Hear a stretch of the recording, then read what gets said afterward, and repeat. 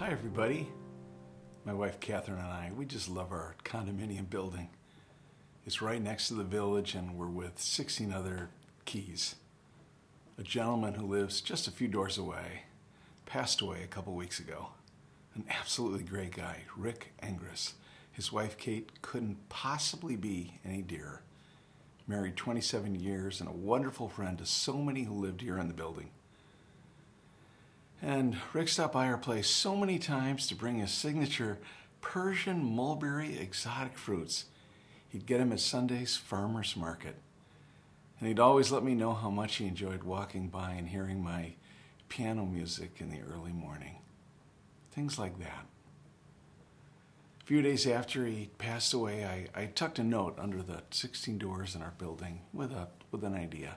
I invited the folks to meet at our fountain in the courtyard that Monday night at 6.30.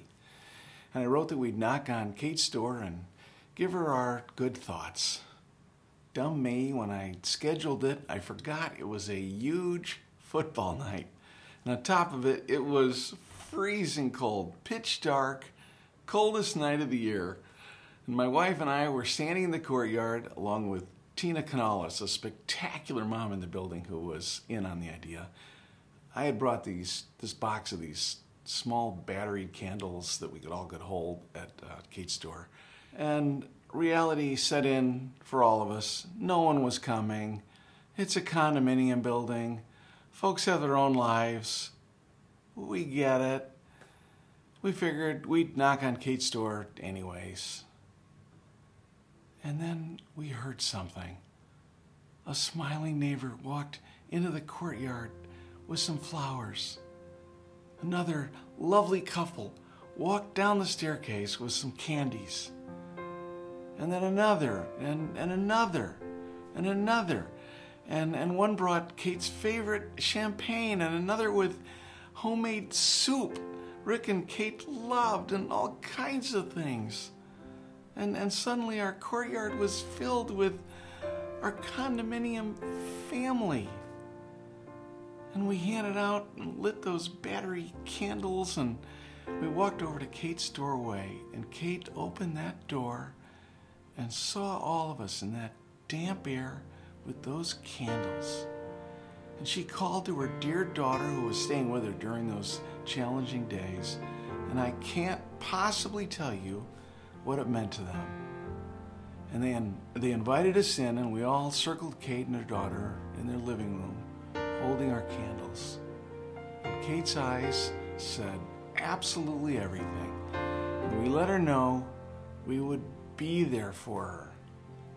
And we, we saw it on Kate's daughter's face, the depth of those words. And, and there was a quiet in the room. And the room started to glow, not, not with the light of those candles, but with a feeling that was so strong and so powerful and so unexpected. We looked at each other and we, we felt it. And in that moment, we found something in that room we were looking for that we missed. Something that we really, really needed. A little humanity.